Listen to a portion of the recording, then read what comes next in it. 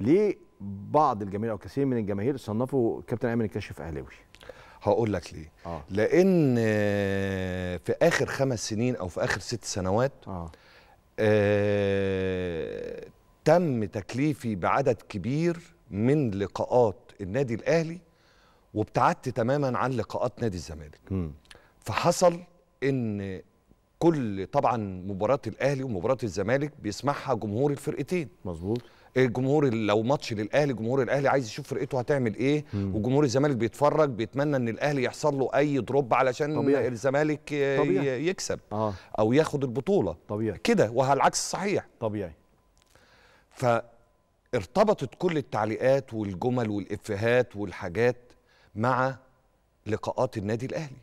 فاذا يبقى المعلق ده تمام أهلاوي أهلاوي ما هو ما فيش شك يبقى يعني ما ما فيهاش مش محتاجة كيمياء يعني مش موضوع آه. مش مش مش- طالما بيقول كل الكلام دوت للأهلي آه. يبقى هو أهلاوي. آه. تمام؟ آه. لكن اللي الناس يمكن مش واخدة بالها منه إن أنا موجود في الساحة دي من 20 سنة أو من 19 سنة من 2005 أيوه.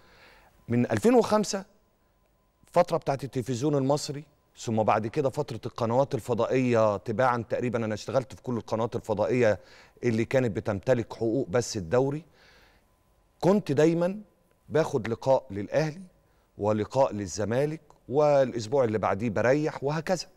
فكان الجمهور يوقفني في الشارع يقول لي أنت أهلاوي ولا زملكاوي؟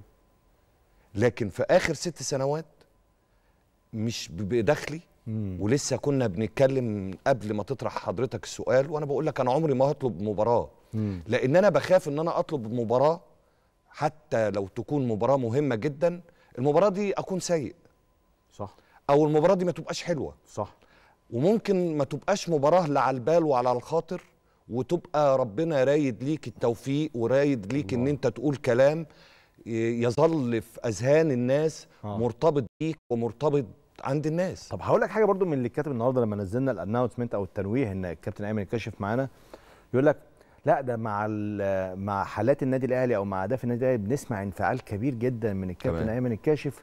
مع حالات لنادي الزمالك بنسمع انفعالات أقل بكتير من الانفعالات ومع طيب. الأهداف والحالات بتاعت النادي الأهلي. أنا هقول لحضرتك. السوشيال ميديا آه. آه، بتكتب حاجات تمام آه، طبعا وليها أهداف. مم.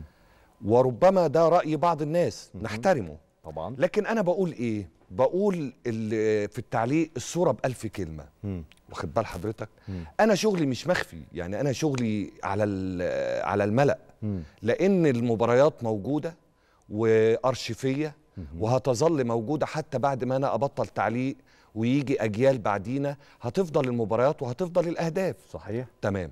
آخر مباراة علقت ليها على الزمالك إمتى؟ مباراة الزمالك والأهلي اللي الزمالك فاز فيها 2-1 على النادي الأهلي وسيف الجزيري سجل هدفين. أيوه. تمام؟ مين. بقى اللي قال آه اديني سيف وكمان سيف؟ صح. مين اللي قال التعليق ده؟ أنت وطلع ترند ساعتها. وطلع ترند. صح. يبقى اذا الصوت بقى مهديش ولا كحيت لما الزمالك جاب جون أيوة. ولا حزنت. لا خالص. أيوة. دي أصوات مم.